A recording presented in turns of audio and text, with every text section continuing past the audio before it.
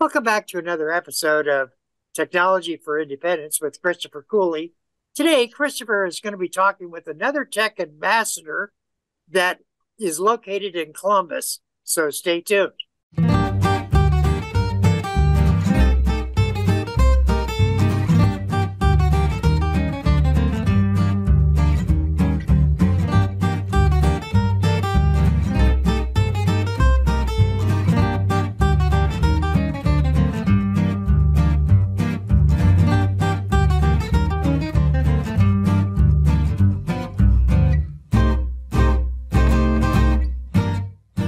Back to another episode of Technology for Independence with Christopher Cooley.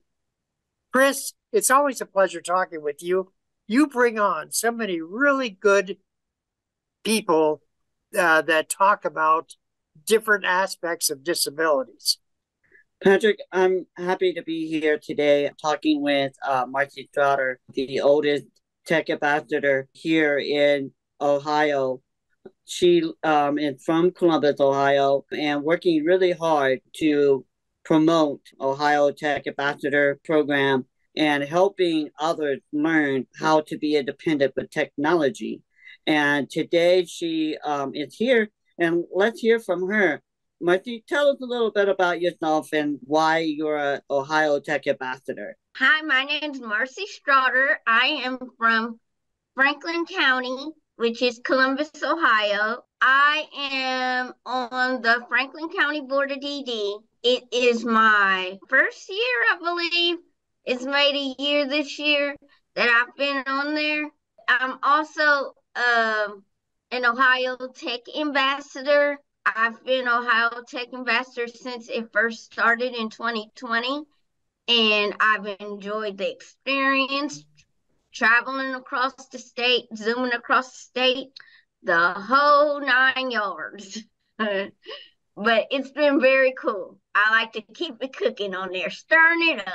What kind of disability that you might have? I uh, have hydrocephalus, which is water on the brain. It, it's like it comes down through my spinal cord, from my head to my spinal cord, and I'm all, I also have epilepsy seizures that I've had ever since I was born. I've been struggling with it, but I don't let it hold me down. I say I'm strong. I'm a fighter.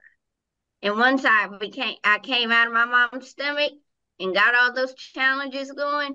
I just said, I just was in there and said, fight.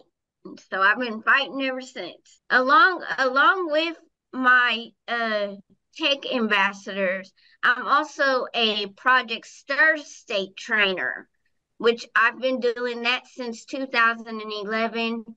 Uh, that's when I took the training. When I became a trainer, it was in 2012, and I've trained over 125 people across the state of Ohio. And I'm also a AngelSense ambassador, and I just started on that journey about two months ago. I help uh, do videos and stuff for them, showing me in the community with my AngelSense. Uh, it's like a little device, and it goes in my um. I it's like a little per a little thing that you can put in your purse, along with the button that I can use if I need help or I'm lost or something like that, my angels can, sins can know where where I am, and they keep me safe along with my remote support. And so I am a ambassador for them, and I show people. If you look on LinkedIn on the AngelSense page, you'll see my video that I did a couple of weeks ago I also work for my provider agency, Ohio at Home, which I'm a self advocate consultant, which is very, very cool. I graduated from Columbus State in 2015, and I'm in uh, for the hum, Human Service Assistant program. And Chris knows what I'm talking about because he went through the training too, except he graduated before me. Right. So that's my keeping the cooking flavor part of the story. I got all if you know also if you know about APSI Protective Services, I'm on their board too. And I help design the new o- Ohio ISP. What, what is The- that? The Ohio ISP, the individual service plan. Chris knows what I'm talking about. The service plan we get when we talk to our SSAs and they go over our yearly planning and everything like that. It's a little like case manager sitting down with you, talking about your goals and your independence, and and what do you want to do in five years. You know, you always hear your mom and dad or somebody saying, "What do you want to do in when you graduate?" You know, those kind of things, and you work on those goals, and and they work with you and try to help you. Um, people with multiple disabilities and um, the technology that might be out there to help you live independently. So, Marci, what is the um, STIR training? Okay. Project STIR stands for Steps Towards Independence and Responsibilities. We teach other individuals with, with disabilities and their allies that come with them to the training um, how to speak up for themselves, be a Ohio leader, know their rights and responsibilities, and learning how to be an advocate and to help other people when they want to know about STIR or help them out if they need questions about something. So, is that only for people with disabilities, or is it for other people that just want to learn about? Well, it is for people with disabilities, but their allies could be parents, uh, providers, um, you know, instructors in their uh, day programs, or if they work somebody, maybe it could be their supervisor can take them to the training. Like when I went to the training before I became a state trainer, because I had to audition to get that.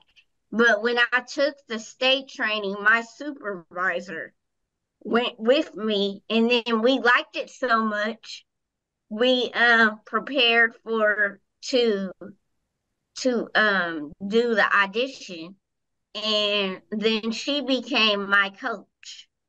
In which the coaches in Project Stir they help you with your big Project Stir book and the lessons that you have been picked to teach in the training. It's about big, I always say big as a dictionary. So, if somebody wants to be part of that program, um, how would they be able to find that information, be able to be connected? OhioOSDA.com. Um, we also, you can also find us on Facebook. We have a page on there. We just had a training last week. Matter of fact, I was one of the trainers, which is really cool. So with Project Stir, you can get other coaches than the ones you started out with.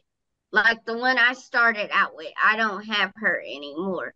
I have a different coach, and her name is Kara Lloyd, and she has taught me very well on Project Stir, and it's got me trained. And I thank her a lot. You talk a lot about your Facebook portal. Um, what's that do for you, and and what is the company called that actually helps you with that? I receive remote support. Um, and I receive it, my remote support company that I am a part of is Ohio at Home slash Med for All because I receive services from their HPC part and their remote support part. And so we are the only ones, I believe, that have the portal in the Facebook page, and you can talk one on one, face to face with the remote support provider. Uh, with the Facebook portal, I also get to have my girls' nights, get to talk to friends. Um, if you know about We Thrive Together, we have personal groups on there, and it's just a real good thing. You can listen to Spotify, you can listen to different things. And it's very, and it, you can even go on YouTube. You can go on these cooking things I've seen on there. You can even have Zoom meetings on there. So you were telling me, so you were telling me that it can help you unlock your doors, um, help you, help you um, with cooking, um, and all kinds of different things, taking your medicine. Um, tell me a little bit about that. How's that work for you? So with the remote support on the portal, and I can talk to remote support on my phone on Messenger too. But I like the portal because it's big. They can unlock my doors or unlock it, or say if I forget, I don't do this, but say if I forget to lock my door or unlock it or something like that, um, I can call my remote supports and they could do it for me. And that's one good thing about it. And then I they can also control my smart thermostat, which I had a thermostat, the regular thermostat in my apartment, and it was too hard to see. My remote support provider and my service coordinator they took with my waiver dollars and I got one of those. So with remote supports, it's got to be if the stuff that some of the technology you need you can use for in your waiver, but it has to be a need. You can't just go say, "Hey, I want can I get an iPad?" I just want it to want it, you know?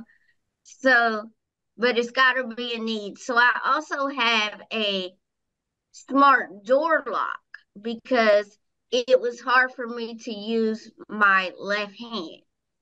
And so to open the doors and stuff. So I have a smart lock on my door.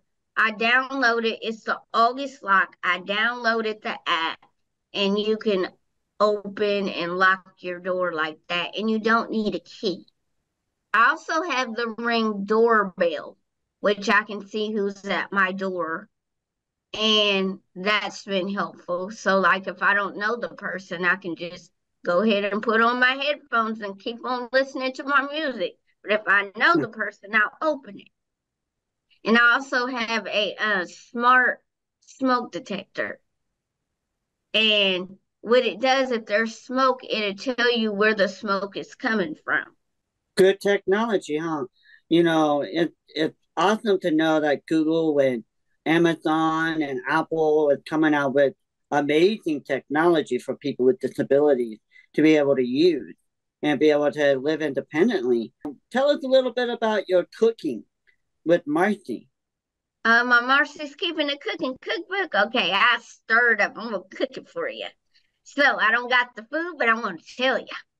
Now I started it when um, I first started with my provider agency I go to, Ohio at Home.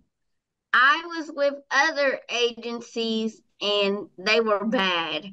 They did not teach me how to cook. They it was just not good. And so when I I had so many stories that I told my new provider agency about the horrible stories about the staff not being good, sitting on a couch, eating potato chips and things like that. You know how it is with providers, some provider agencies. So I've had some bad ones. I've also had some good ones, but the one that I had before, um, it was bad. So my coordinator at my provider agency I go to, Ohio at Home, she was like, Won't you make a blog? You have all these stories about providers. Won't you make it into a good one and make and show that how staff, how your new staff can work and and you see they see how they're helping you and show them how to be a self advocate to show them like what to do and stuff like that if they get in that situation. And also, I got to uh, show my um, Project Stir, my group of friends. That's how I started it out with talking about how I had fun with my friends and how my providers helped me and with uh different stuff they helped me with around the house. And then um that was during the beginning when I started and that was like 5 years ago. I used to work at a workshop and I was a staff there. I was a human service assistant because I got that certification to work there from Columbus State. So I got a job there. But I rode on the vans with the clients because they, the van, the transportation also picked me up. So there was one girl that uh her staff packed it whatever they wanted for her lunch. So she was like, I didn't want this. They why they give me this? I said, Did you know that you can cook with your staff and cook what you want for your lunch. Or if you can't cook, you can go in the kitchen and watch them cook and tell them how you want it. And then tell them and speak up for yourself and tell them that and speak up and say, I can do this. This is what I want for my lunch. And so ever since then, I've been cooking on there. I started out with heated up stuff and put it on the stove like the Tyson's frozen. But then I uh, went into a new level and went into raw chicken and start cooking steaks and baked potatoes and just cooking on the stove. Um, I was uh, started making. I had the chicken, the Tyson's chicken with like the sauce for Chinese food, but then I found a recipe.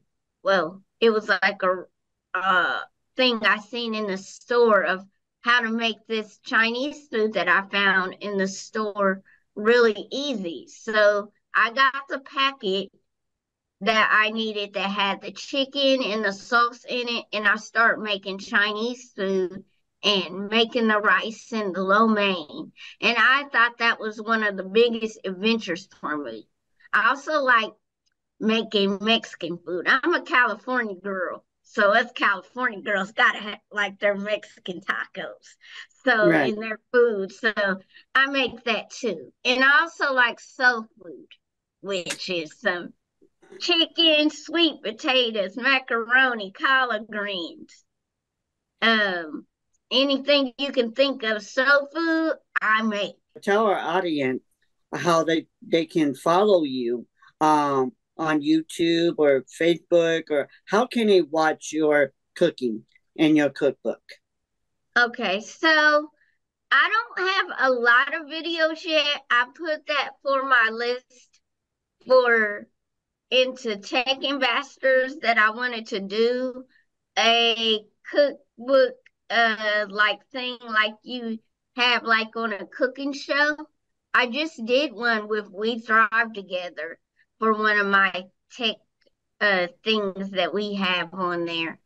And I have my own cooking show and people watch me cook and bake and they want to and they ask me questions and it was really cool. It was my first time doing that like that, and it's really cool. And I plan on doing more on my blog. So, how do we find your blog? So you can go on Facebook. It co- it's called Marci's Keeping It Cooking cookbook, and it's spelled M A R C I, and then a S to it, and keeping it cooking cookbook. But you can also find me doing my public speaking and my tech ambassadors presentations on YouTube.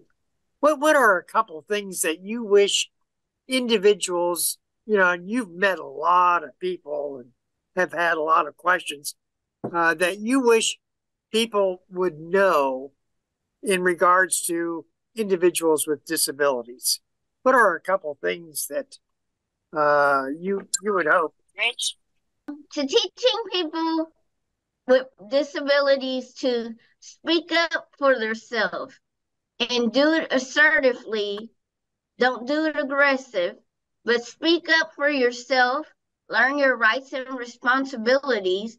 Be Ohio leader and just speak up for yourself. And another thing is with remote supports, there's some people, and Chris can probably agree with me on this. There's some people with that don't want remote supports because of the cameras, but what they don't, but what they, but some people don't realize it doesn't go in your bedroom. It just goes in your kitchen, in your living room. And I think that, and then I think that is very, very, very important because people that want their own privacy with remote supports, it's cool to have it. You can have staff and you can have remote support.